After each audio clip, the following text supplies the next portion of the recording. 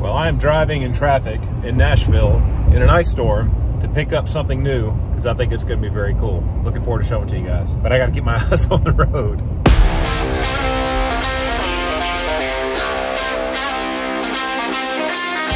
Hey friends, Joe the Farmer here, and in today's video, we're gonna talk about a secret that Tractor Supply has been keeping from us. Okay, so years ago, my family started going to Tractor Supply, and it wasn't the most organized, great shopping experience that someone would usually have, right? And then changes started to happen. I started noticing more brand name stuff in there, like DeWalt tools were in there, and the stores were cleaner and more organized. And then all of a sudden, outside, I start seeing some power equipment. And then I start seeing side-by-sides. Tractor Supply starts secretly becoming one of these side-by-side -side dealers, right? And Lowe's has done it, and Rural King has done it, a bunch of other people have started selling these things. But we had one, we, you know, we picked one up and we've been using it for a couple years on the channel and some of you love it, some of you hate it, but we have had a great experience with this machine, even though we bought it at Tractor Supply. Through that whole uh, experience, what we've realized is that Tractor Supply is actually starting to also carry tractors and different brands of UTVs now and side-by-sides and even mini bikes and all kinds of crazy stuff. Mowers and you know, you name it. We were approached by a company that's going to be offering a brand new side-by-side -side through Tractor Supply. No one's ever seen it. If you search the name on the internet right now, you'll barely find anything. If you do find anything, they approached us through our, you know, our channel and said, hey, how would y'all feel about having one of our machines on your channel for a little while? Let people see it, let people see how it works, kind of introduce it to the world. Tractor Supply has been working with this manufacturer and they have a, I believe it's like an exclusive thing thing where you'll only be able to get this at Tractor Supply or through a dealer network. First impression of it, I have not driven it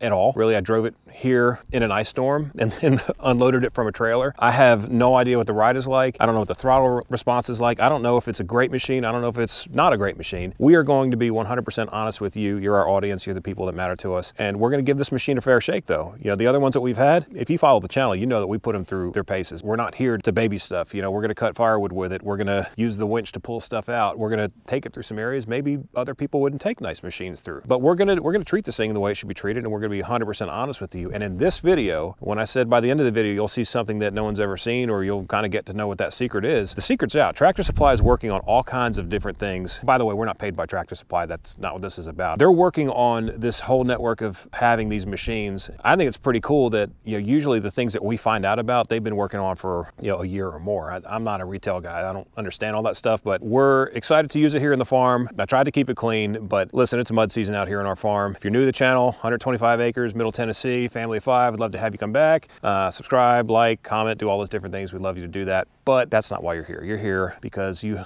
know that there's a secret machine that Tractor Supply hasn't told you about. But guess what? Your friend Joe the Farmer is to show you today. So let's get over that machine and I'm going to do a walk around and I'll show you all the features it has. We're going to learn about this thing together. So let's take a look.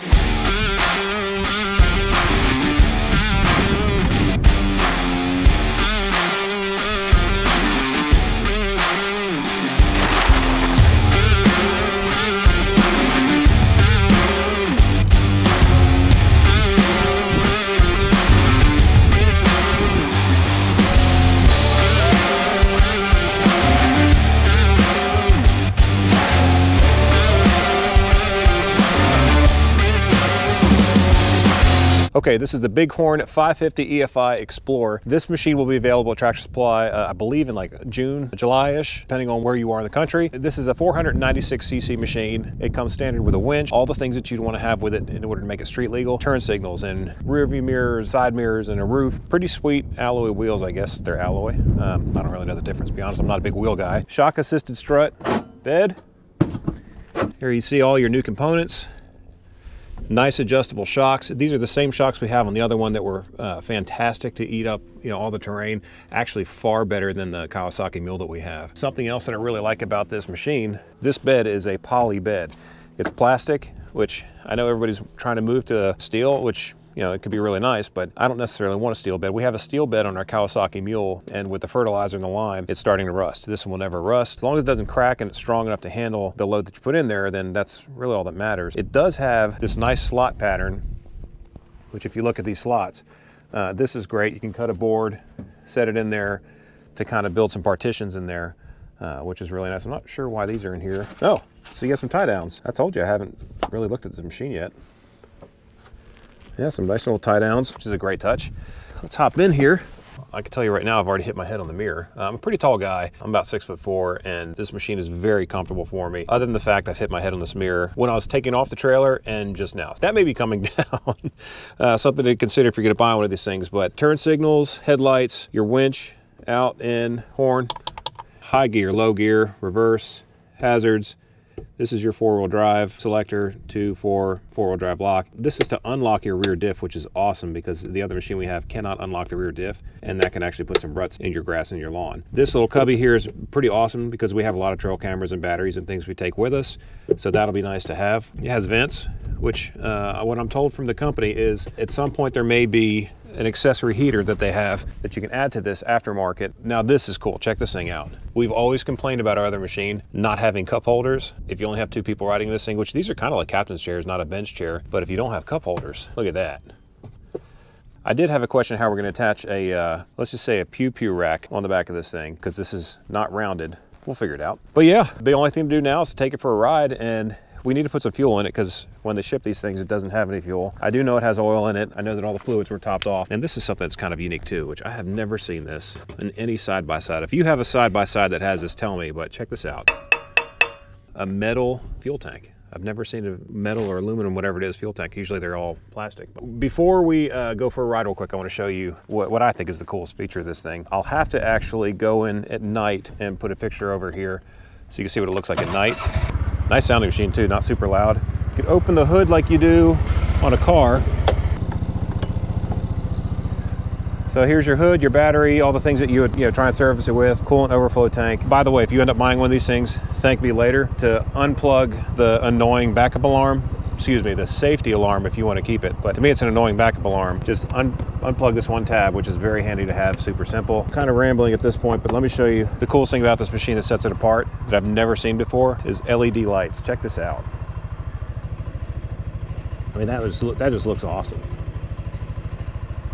This LED strip wait till y'all see this thing at nighttime. It, it, I mean, it's just killer. So, all right, I'm gonna fill it up with uh, some fuel and let's take it for a ride.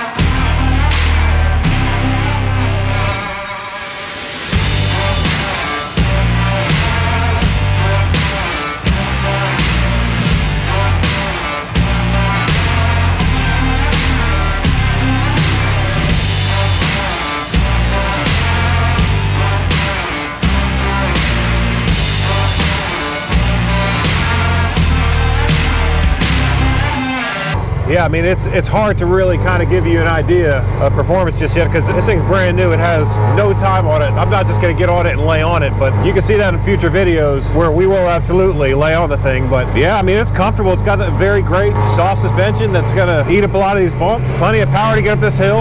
I'm in high. Let me switch down to low and see how that does. So now I'm in low gear, which really, if you're climbing a hill or something like that, you should pull the RPMs back a little bit, but it's a very comfortable machine. Great steering. It's not power steering, I don't believe but it's a lot easier to steer than other ones that I've driven without power steering. So that let's a little bit of fun with it without going too crazy.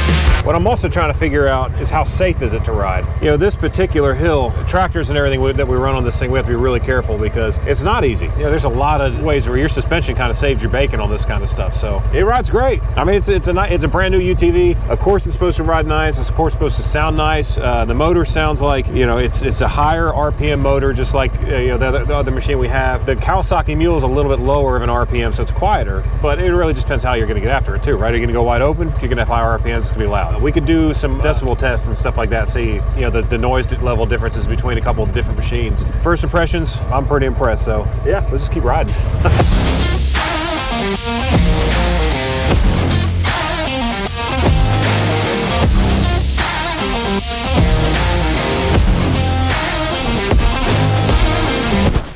The folks at Bighorn may regret sending us one of these machines because we're not easy on them, but so far I really like it. Well, since you stayed this long, you get the most satisfying part of the video, period.